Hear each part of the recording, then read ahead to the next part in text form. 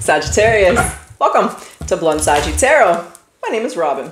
And Sagittarius, today, let's do an energy check-in. Let's just check in on the collective. Let's see what's going on with Sagis, the energy around you. Okay, we have between worlds. One foot in the door, one foot out the door. You could have a decision to make. You may not have fully made it, or maybe you've made it, you just haven't fully executed it. Let's find out. Let's see what's going on. Let's talk about your Sag. Let's get the emphasis right now. Where is it? Cancer, it could be your family. Okay, this energy is emotional, sensitive, caring, and loving. It may concern a family, a mother, or a child.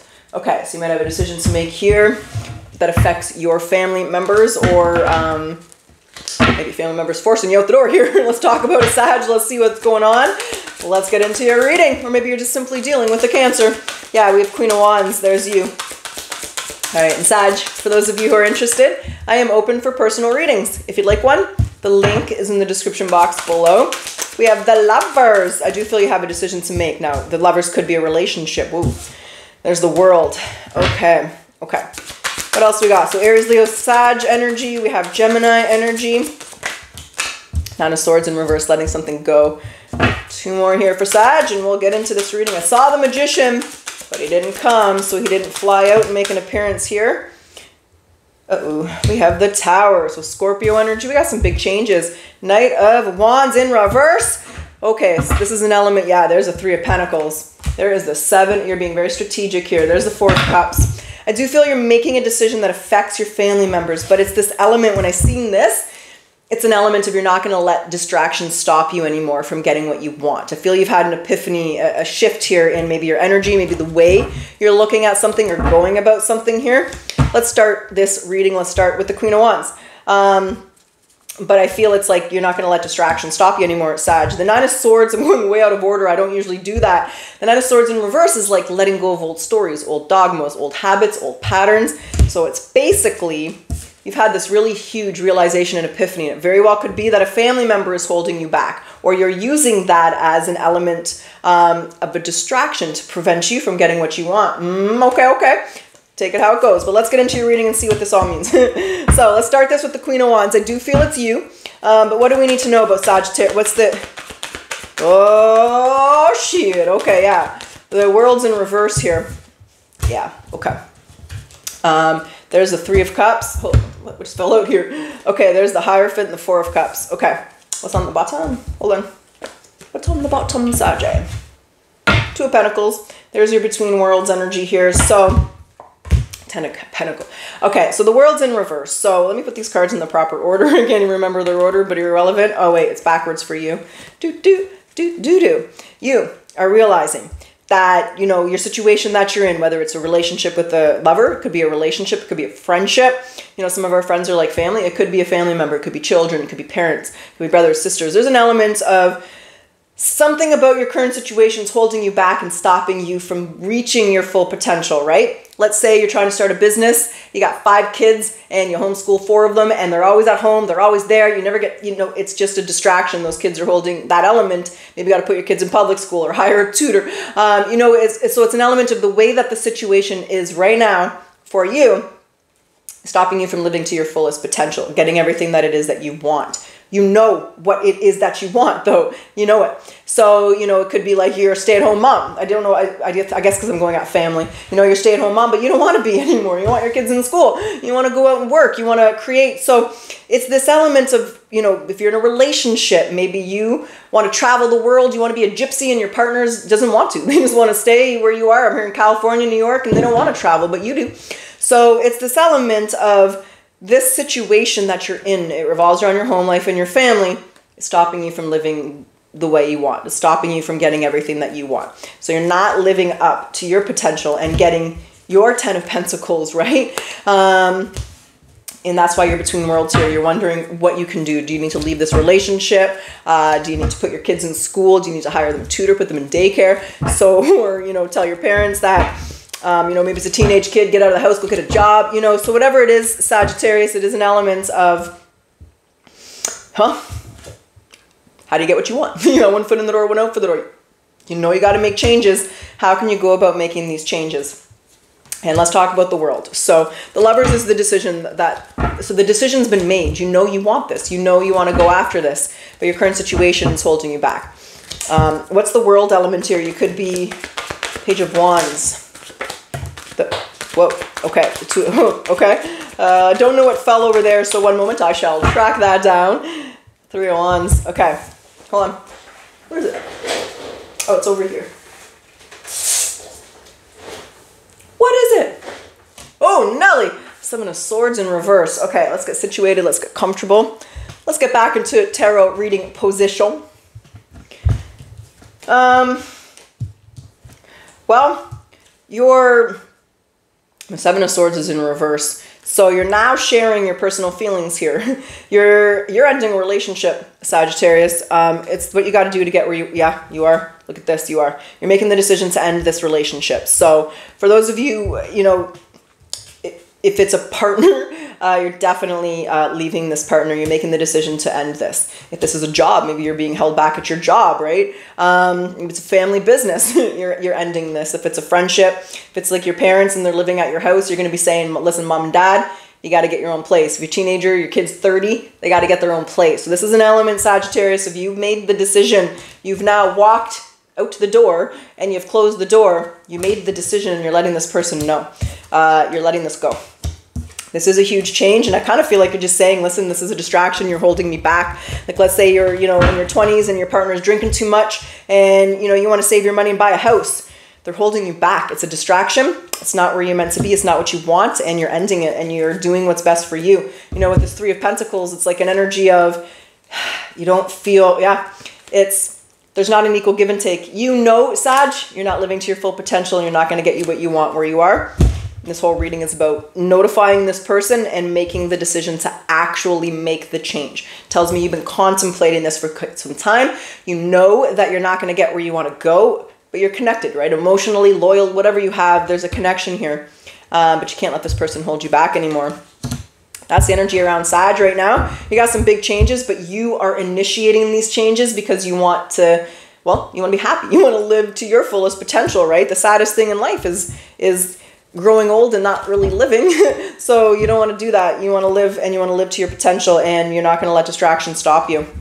Is there anything else you want to say here to Sajek? Anything else? Two of Swords. Yeah, it's time to make that decision. Uh, yeah, you've taken, Sag, you've pondered this long enough. If this is your reading, you've been thinking about it, you've been contemplating it, you're going after it, baby. You're making it happen.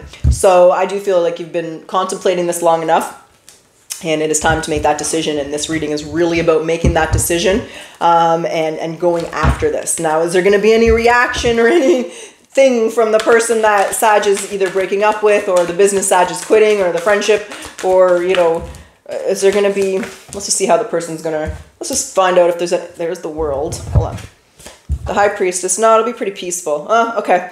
It, well it, there's the lovers there's the five of wands um, there's the Ace of Swords, there's the, the Eight of Cups, and there's the High Priestess. So I, I think, you know, there's the relationship, friendship, there's the argument, there's just speaking your truth, saying what needs to be said, there's walking away, and there's peace. So I don't see any drama, I don't see any venge, I don't see any revenge, someone coming to get you, they're lurking in the background. It's just an element of, you know what, you're probably right, Sagittarius, we're not, we're not on the same page, you're, you know, go after what you want and you do and i don't even really know if there's a lot of communication between you and this person but when we look at both of these feminine energies they feel pretty free. So you thought long and hard about it and you went about it the right way tells me you know this person. You're going after what you want sag.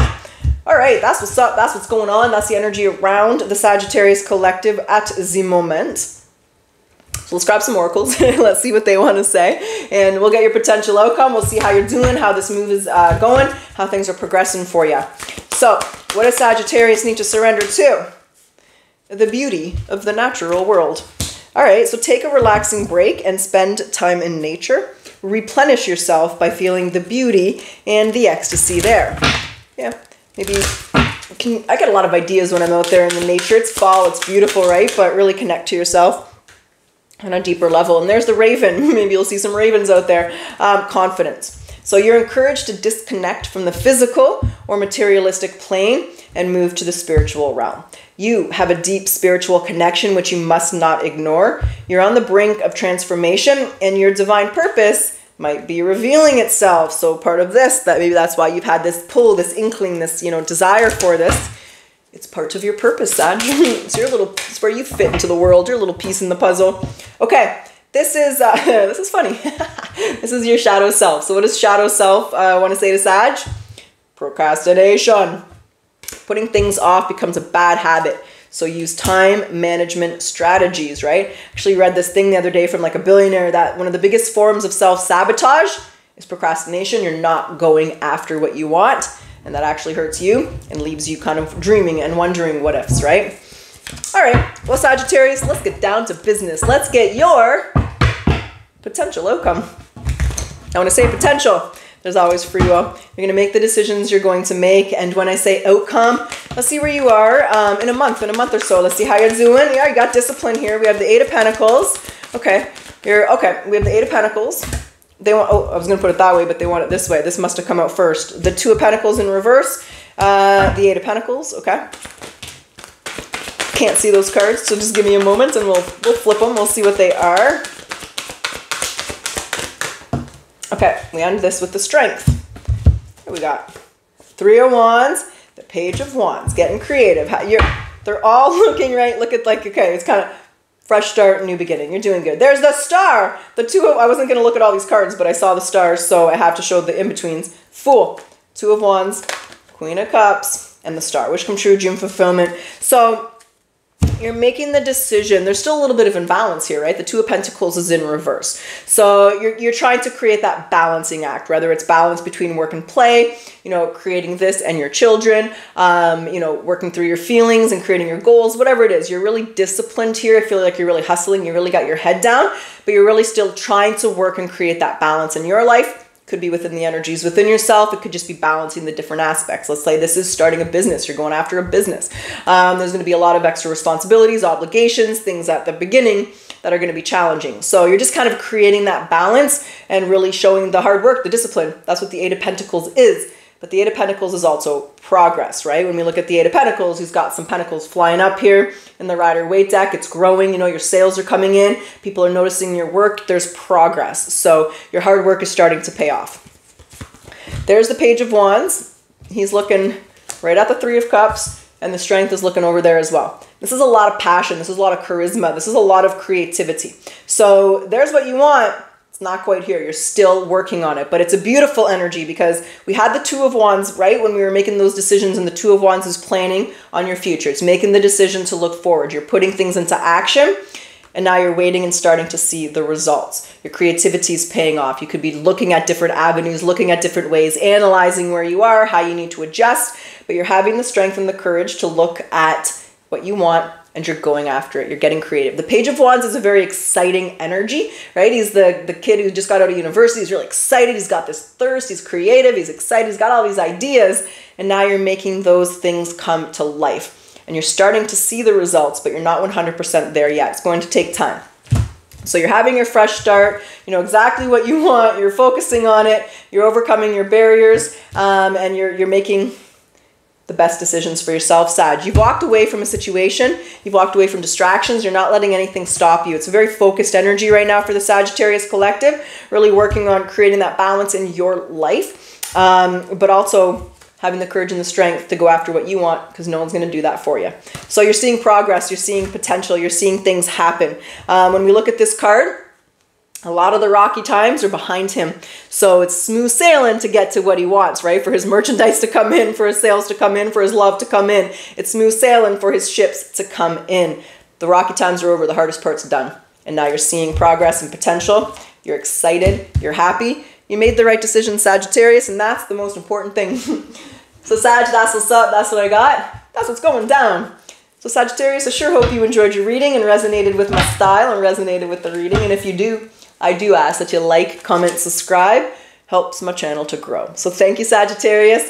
Um, I was supposed to go live today for my all signs, but I couldn't get connected. I was trying this morning for like an hour and I just gave up. So, um, but I will be doing individual signs a couple times a month from here on out. Um, but I'll still be doing my regular all signs readings um, I'll do it in the next day or two when the weather is a little bit. Whoa! I don't know if you heard that. Okay, that scared me. All right, let's get into your. Let's close your reading off today, Sag, with a yes or no question. Yes or no? What's the answer for Sagittarius? Negativo. Sag, that's what's up. I truly wish you the best of luck. Until next time.